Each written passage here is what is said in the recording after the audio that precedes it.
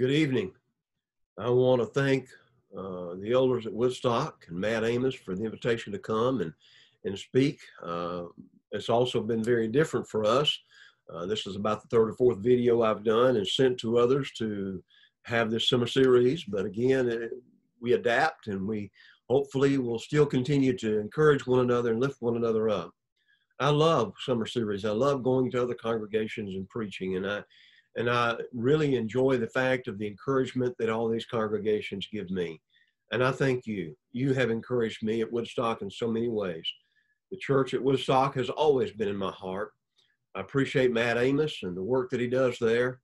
And I appreciate the elders and what they do and as they work for the Lord. I appreciate you, my brothers and sisters in Christ. And I want you to know that you are in my prayers.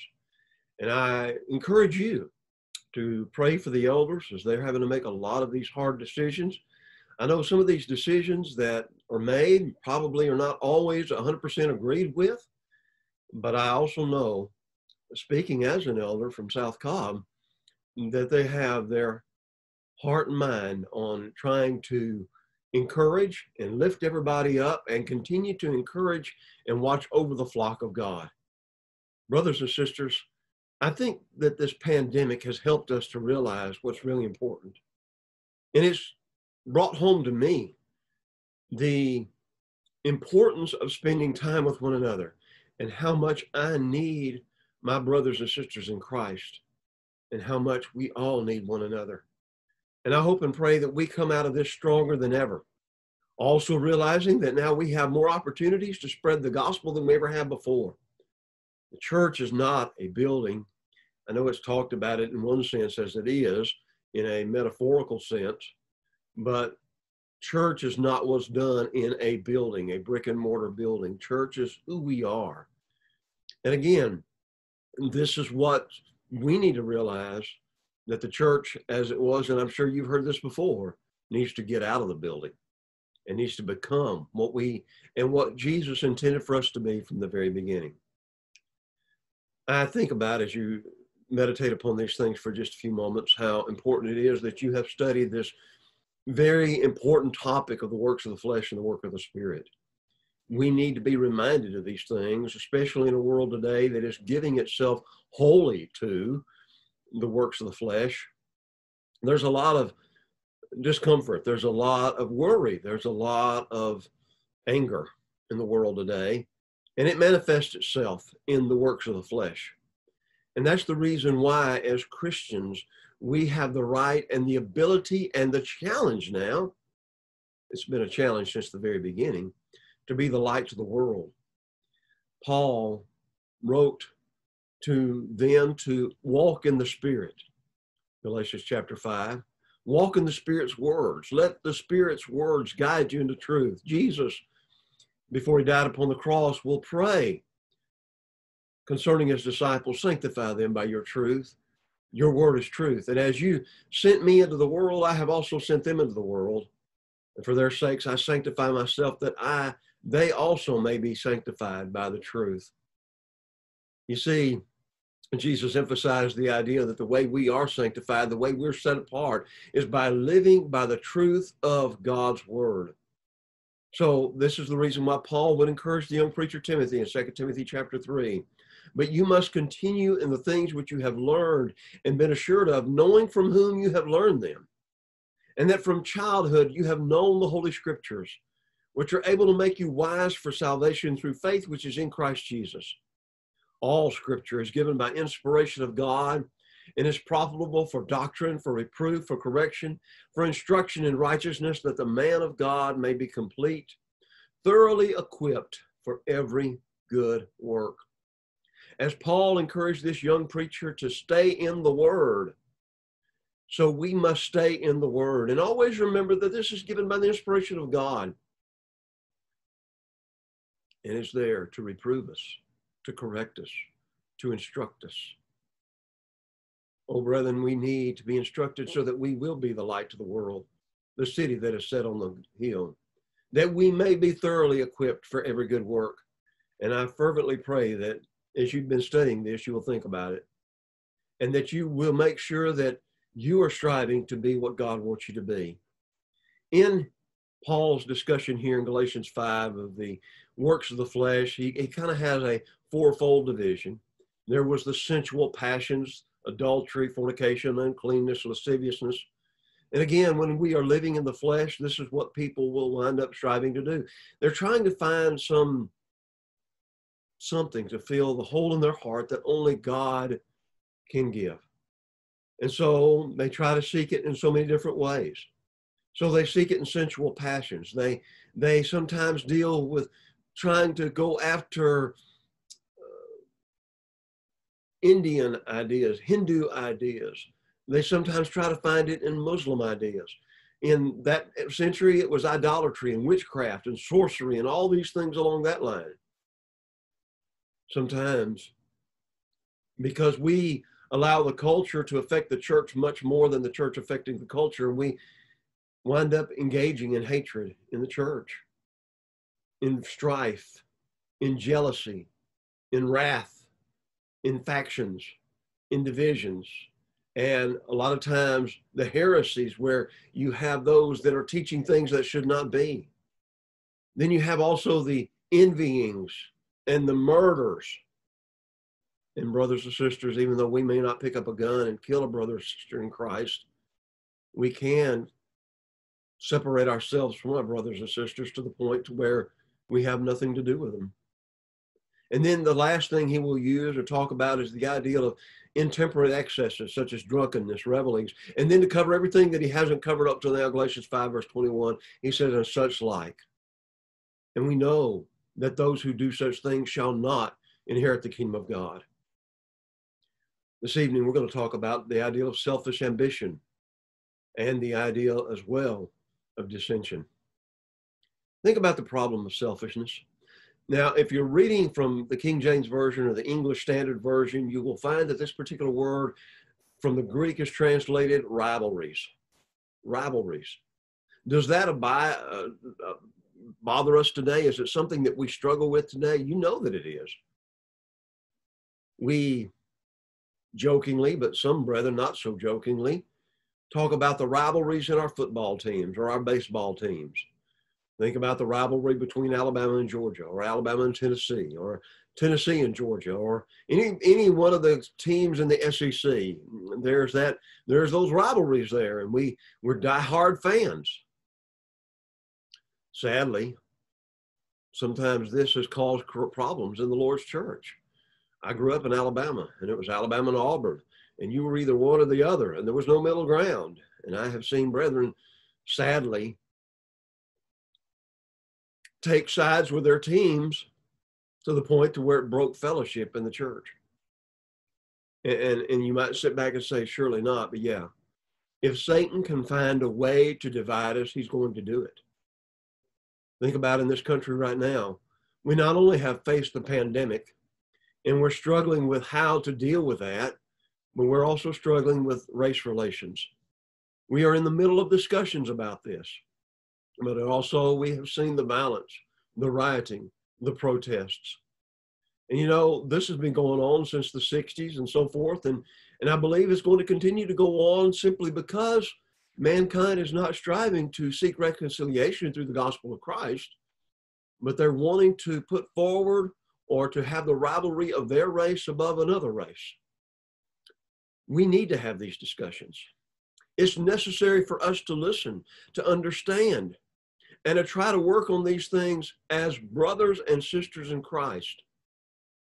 We teach our young children red and yellow, black and white, they are precious in His sight. Jesus loves all the children of the world. But maybe we sit there and think to ourselves in our mind and have a disconnect. Yes, He loves the children, but He doesn't love the adults. Oh, listen, He loves every person upon this planet. And if you ever have a doubt about that, all you have to do is look at the cross. For God so loved the world, the world, not the red world, not the yellow world, not the black world, not the white world, but the world. We see selfish ambitions, and, and especially in a year like this, the, the political race is heating up. Republicans and Democrats, the Libertarian Party, the Green Party, the Constitution Party, and everybody has a platform. And everybody wants more than anything else to emphasize their differences rather than their commonality. Years ago, we fought a war in this country. And again, it was because we couldn't get along. We couldn't try to work things out. We couldn't compromise. And again, we're in that situation where it, it could easily explode into another war because, again, of where we are. And we would like to sit back and think, no, such could never happen. But, you know, you hear rumblings of it. We struggle with selfish ambitions at work. There's always somebody that's always trying to crawl over everybody else to become the boss or to become a manager or to do something else. And there are always those where they're always suspicious of others at work because they're not sure if somebody's trying to get their job. They're not sure what their boss is trying to get them to do or what they need to do to be advanced in the company. There's rivalries at school. And again, I think about a lot of our young people and what they're having to face right now.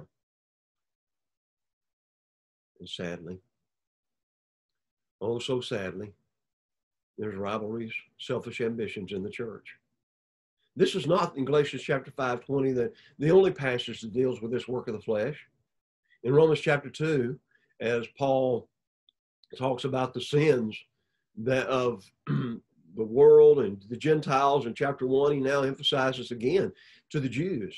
He says in chapter 2, verse 5, but in accordance with your hardness and impenitent heart, you are treasuring up for yourself wrath in the day of wrath and revelation of the righteous judgment of God, who will render to each one according to his deeds eternal life to those who by patient continuance in doing good seek for glory, honor, and immortality. But for those or to those who are self seeking and do not obey the truth, but obey unrighteousness, what do they have to look forward to? Indignation and wrath, tribulation and anguish on every soul of man who does evil, of the Jew first and also of the Greek. But glory, honor, and peace to everyone who works what is good, to the Jew first and also to the Greek, for there is no partiality with God. Oh, I wish we would learned that when it comes to the race relations we're going through. Back then, it was between Jews and Gentiles. But you see, do you hear what he's trying to say? He's emphasizing the idea he's re- treasuring up wrath for those who, what? Are self seeking and do not obey the truth. That's why I started this lesson off with the idea of how important it is that we live the Christian life. Because, brothers and sisters, we have to remember and realize that we are the only hope. No, God is the only hope, but the only way they're going to know about God is whether or not they see God in us. In James 3, he says, Who is wise and understanding among you? Let him show by good conduct that his works are done in the meekness of wisdom. Notice again the emphasis upon the work. Notice the good conduct. But he said, if you have bitter envy and self seeking in your hearts, do not boast and lie against the truth. This wisdom does not descend from above, but is earthly, sensual, demonic. So he's saying that when we seek ourselves, when we seek what we want, it comes from the devil's himself. And when self, envy and self seeking exists, confusion and every evil thing are there. I believe that some of the reasons maybe why we're going through the things that we're going through right now is because of the pandemic, is because of the race relations, but it's also because the devil is stirring us up. In Philippians chapter 1, he even warns about preachers. He says, beginning in verse 15, he says, Some indeed preach even from envy and strife, some also from goodwill. The former preach Christ from selfish ambition, not sincerely supposing to add affliction to my chains, but the latter out of love, knowing I am appointed for the defense of the gospel. And this is the reason why in Philippians chapter 2, he says, Do nothing out of selfish ambition or vain conceit, but in humility consider others better than yourselves. Beloved, he emphasizes the idea that for us to deal with the self seeking, the selfish ambitions, the things that we desire more than anything else, we have to remember that we have died to ourselves. Romans chapter 6. Whenever we become Christians, we put to death ourselves. We're buried with Him, washing away our sins. And then we're raised to walk in newness of life. And it's no longer what we want, it's now about what Christ wants. This is the reason why he says each of you should look not only to your own interests, but also to the interest of others. Your attitude should be the same as Jesus Christ. And that's the reason why, and I believe he writes this in the context of Philippians 4, verse 2, where he's having to encourage a couple of ladies in the church. I beseech Euodia and Syntyche that they be of the same mind in the Lord. This problem of selfish ambition started in the Garden of Eden. Whenever Satan came and tempted Adam and Eve, he though Adam and Eve were made in the image of God, made in the way that God wanted to, Satan left them the idea that they were missing something. As God said, You shall not eat of the tree. And she says, He says, You shall not eat of it, nor shall you touch it, lest you die. And he says, You shall not die. Satan always changes God's word, adds a little word here, takes a word out there. He appeals to her and he says, This is a tree desired to make one wise to make you like God. And I believe in 1 John 2.15 where he says, Do not love the world nor the things that are in the world, for if anyone loves the world, the love of the Father is not in him. For all that is in the world, the lust of the flesh, the lust of the eyes, the pride of life is not of the Father, but is of the world. I believe Satan appealed to every one of those things in Genesis chapter 3. But notice he really appeals to the pride of life. And there again, there's where that selfishness comes in. He said, The world is passing away in the lust of it, but he who does the will of God abides forever. God, by allowing man to have a choice, gave him the power to set his own course and destiny. And this is what happened when man sinned. God, being as loving as he is, will allow us to set our own course. If it's for self and selfishness, we cannot complain when we have to deal with the consequences of that course. This self indulgence is found throughout all the pages of the Bible. Esau was hungry and traded off his birthright to Jacob, Genesis chapter 25 at verse 30. I mean, uh, uh, he said, I'm famished. I want something to eat. I want it to eat right now. The children of Israel, in their journeys to the promised land, and it wasn't very long that they got to a place where there was no water, there was no food, the food was running out, and they said, Oh, that we had died by the hand of the Lord in the land of Egypt when we sat by pots of meat. Exodus 16, verse 3, and Numbers 11, verse 5. I often think about the fact how a lot of times we go back and think about the good times.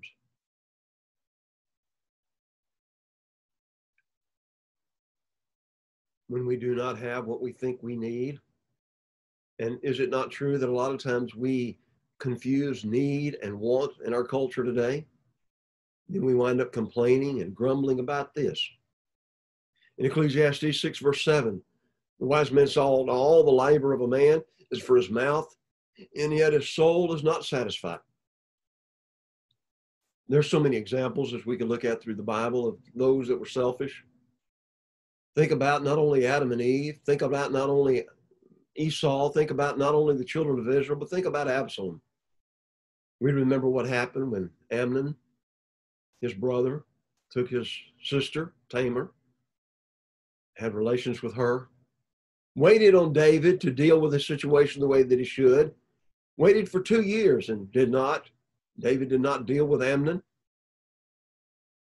Why? When you go back, you remember the idea that David himself had committed sin with Bathsheba. He was only thinking about himself at that moment in time and had not thought about how this was going to affect the kingdom or anything else. He was wanting to engage in these relations. And as a result of that, could he really condemn Amnon for what he did? David did not handle it in the way that he should have. And so Absalom kills his brother Amnon. Then he runs to his grandfather and after a period of time, he's finally invited back, but he's not allowed into David's court. And after waiting again for a while to talk to his father, 2 Samuel, as we read of this particular situation, he says, I could be a better king than my father, and leads in rebellion against his own father. Lives were lost. This selfish ambition of wanting to be a king caused children of Israel to be in a civil war with one another. After this, we see that as David comes close to death, Adonijah proclaims himself to be king. And we remember the circumstance how David has to come in and emphasize to everybody no, Solomon is going to be king. And again, we find Adonijah seeking for and striving to have the kingdom. Read about it in First Kings chapters one and verse or chapter one and also chapter two. In Esther 6, verse 6, we read about another man by the name of Haman in a Persian court who was so full of himself, thinking about himself, says, whenever asked by Ahasuerus exactly what can I do to honor a man that I want to honor, he thought to himself, and again, he's so full of himself, he says, Who else would the king delight to honor more than me? And we also remember, sadly, the, the sad tragedy of Haman, how he died on the gallows that he thought he was going to hang Mordecai on. We come to the New Testament, and it's interesting in Matthew, the 18th chapter, that as they were walking along the road, and, and, and it's not too hard for us to imagine, perhaps Jesus and was walking along the road, maybe a little bit separated from them, leading them as it was, and maybe thinking about who things that he was going to have to face. But what were the disciples doing? At that time, the disciples came to Jesus saying, Who is then is the greatest in the kingdom of heaven? And Jesus called a little child to them and set him in the midst of them and said, Surely I say to you, unless you are converted and become as little children, you will by no means enter the kingdom of heaven. Whoever humbles himself as this little child is the greatest in the kingdom of heaven. Whoever receives one little child like this in my name receives me. You see, the disciples had rivalries. And they're asking, they asked, they simply asked Jesus, who's going to be the greatest? And I sit back and think, in myself that maybe Peter thought, well, you know, I'm the guy that's always the spokesperson for the group.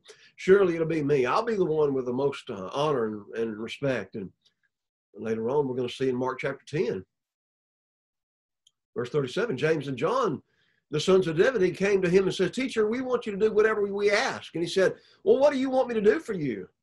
He said, Grant us that we may sit one on your right hand and the other on your left in your glory. Do you hear the selfish ambitions they have?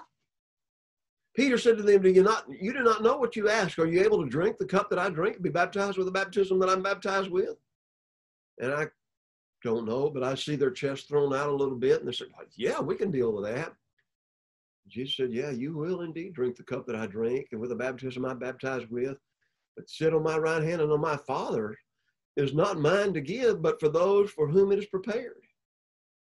And when the ten heard it, they began to be greatly displeased with James and John. Why?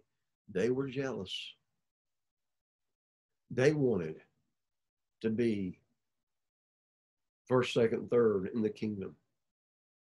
And Jesus reminds them all you know that those who are considered rulers over the Gentiles lord it over them, and their great ones exercise authority over them.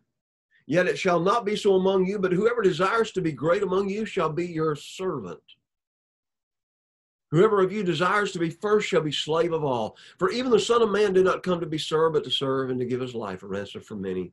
I started this lesson off by talking about the idea of how important it is that we always think about Jesus and think about making sure that we're not guilty of this selfish ambition we have to realize that for us to be what God wants us to be, it's not that we're trying to seek honor and preeminence. We're trying to serve. And Jesus teaches them this in John 13, where right before he dies upon the cross, he washes his disciples' feet. Beloved, Jesus is the example. Jesus is the example. And again, we have to realize that he gave up all to come down to this earth to serve us. There was not a selfish bone in his body. It was all about doing his Father's will.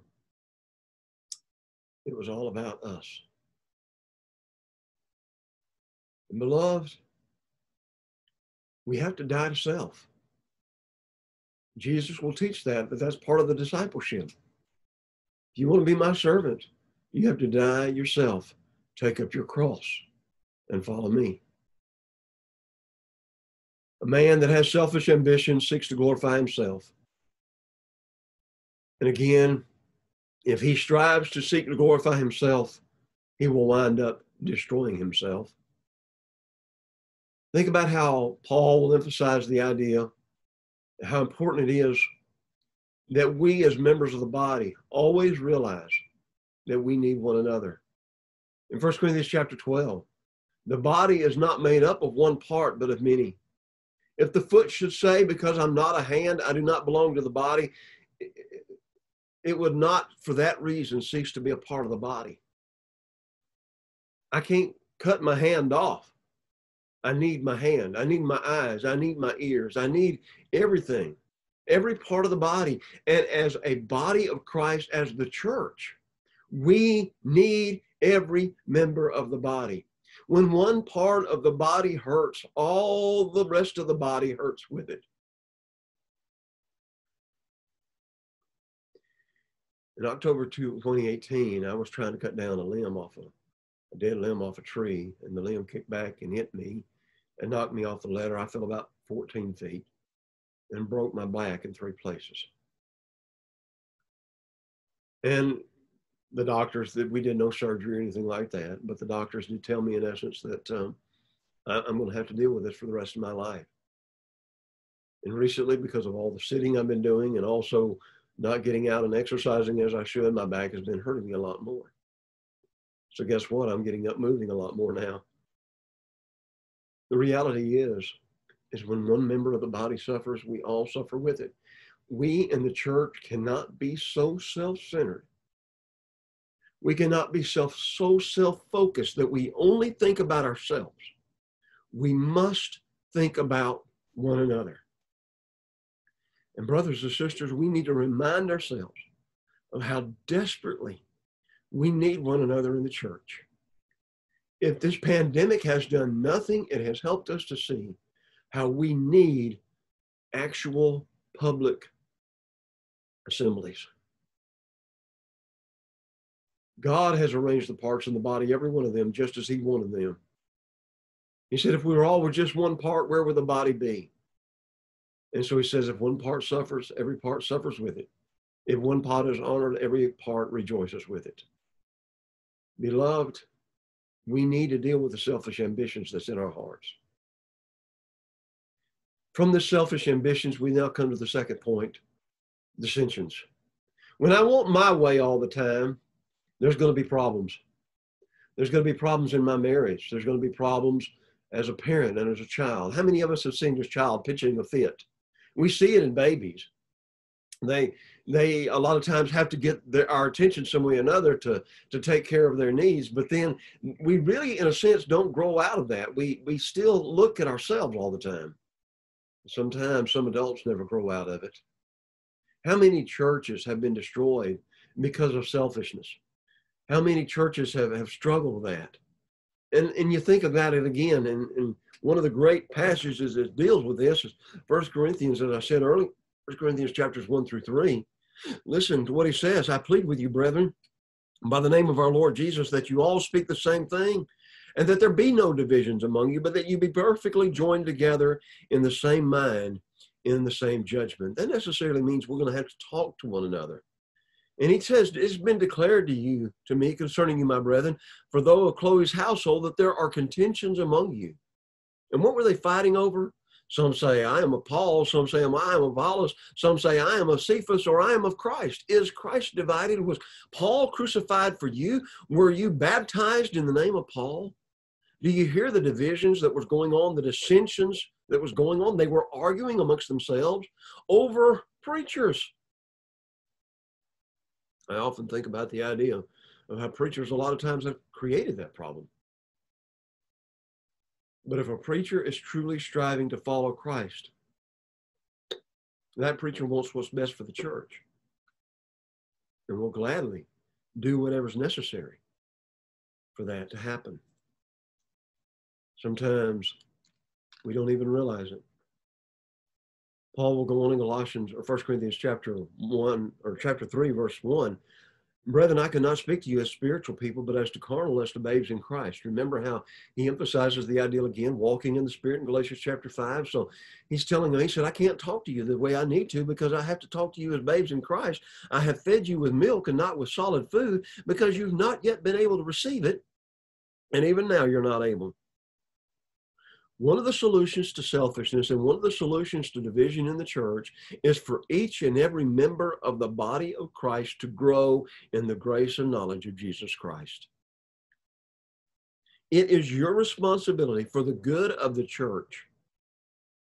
It is your responsibility to grow in the grace and knowledge of Jesus Christ, to grow up and be what you need to be.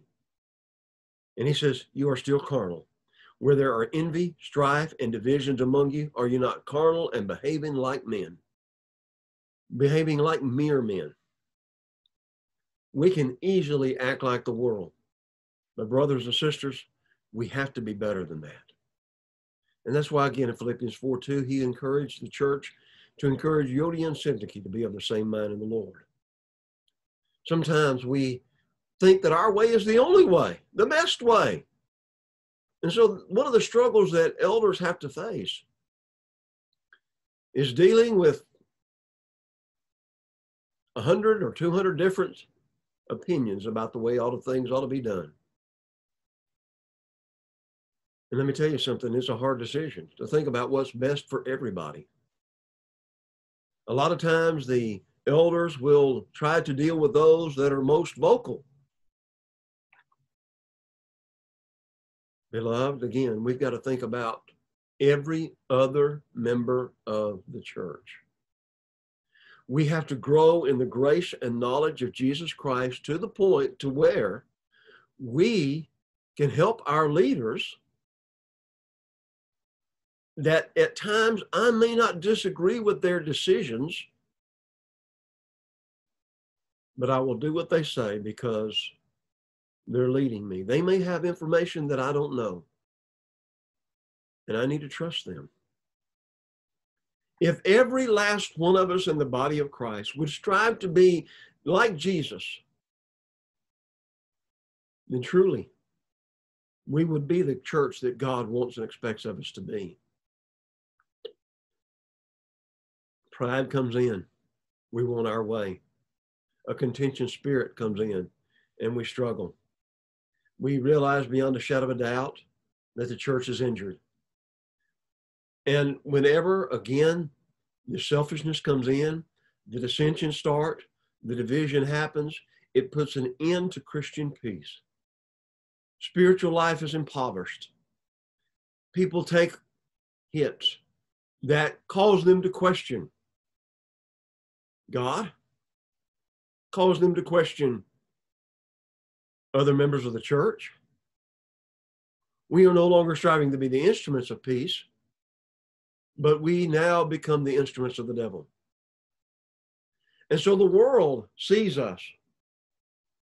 We go back and talk to our friends, not in the church, but outside the church. Well, that church down there, you know, the moment we use that phrase, that church down there, we are in essence cutting ourselves off from it. And we're ruining the the character and the usefulness of God's people. One man wrote that hatred, envy, reviling are the teeth of snakes and lions. They're the things that tear us apart. If Christians appear to bite and devour one another, the world will receive an impression of extreme cruelty in the characters of the followers of Jesus Christ. Could it be that they don't want to listen to what we have to say because we ourselves are not doing what we're supposed to?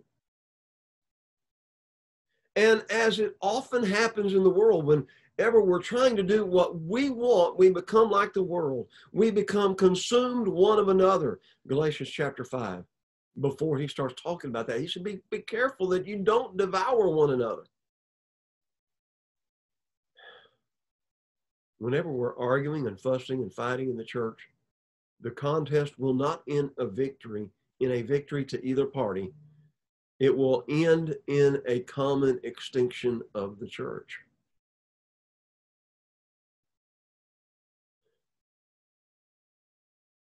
The Gentiles of that time, if they saw Christians quarreling, would repay, be repelled from Christianity. Converts would go back to their old heathenism, their old Judaism, and the Christian community might be entirely broken up. Every church has its problems.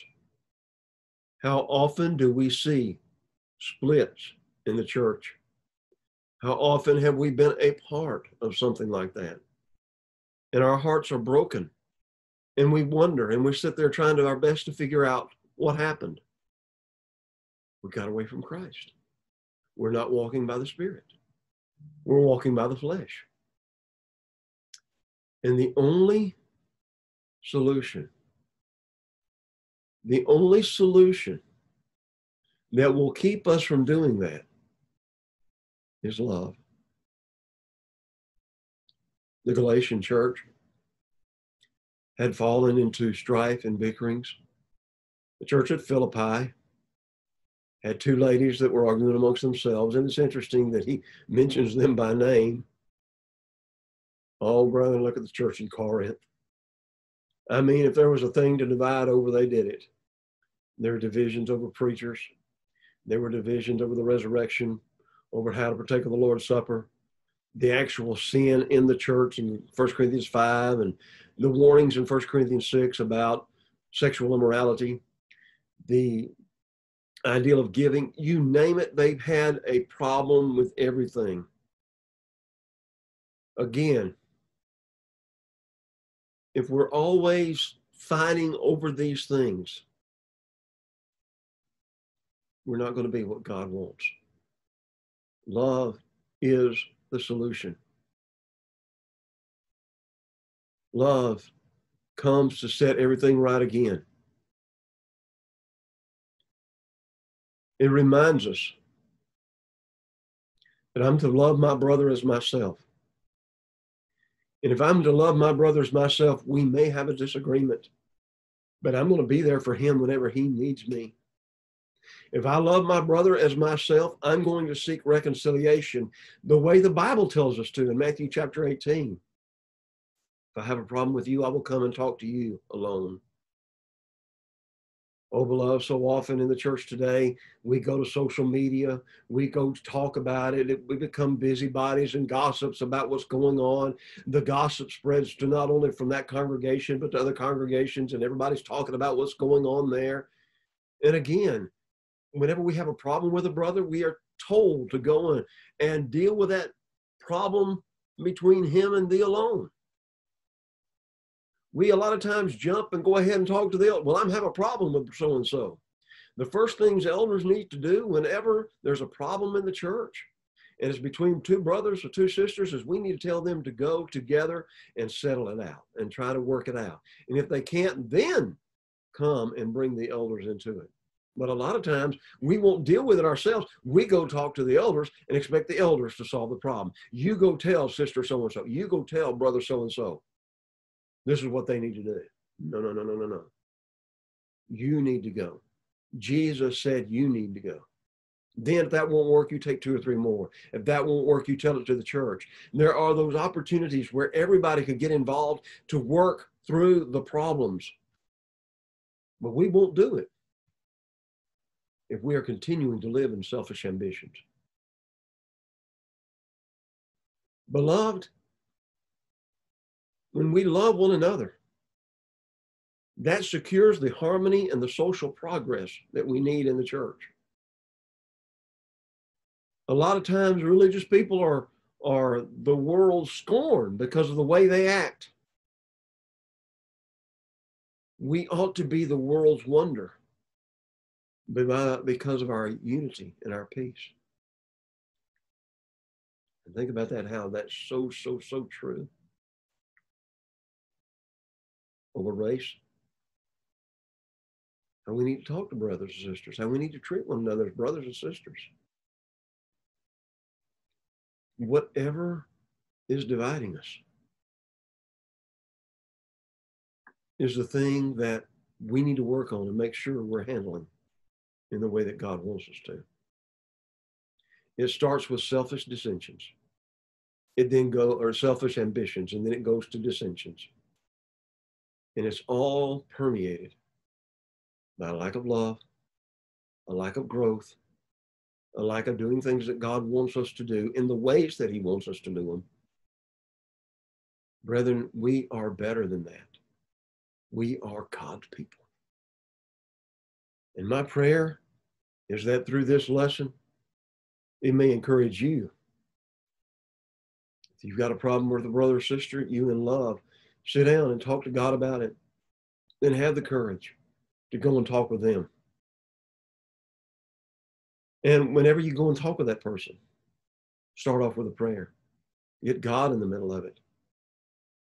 And then work the problem out.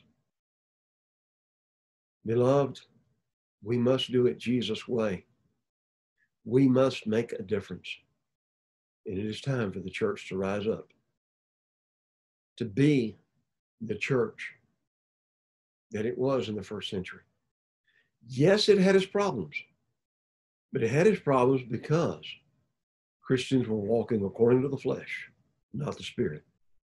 My prayer would always be that we walk by his word, follow his example, follow him as closely as we can, so that we will have the peace and the joy that he wants for us to have. Let us pray. I'm thankful, Father, for this day. I'm thankful for the opportunity to share this message with the brethren at Woodstock. My prayer would be is that they would walk in peace and joy with one another, that they would truly try to put you first in their lives, that they would be known as a church in that community that helps others and that is united and that is peaceful.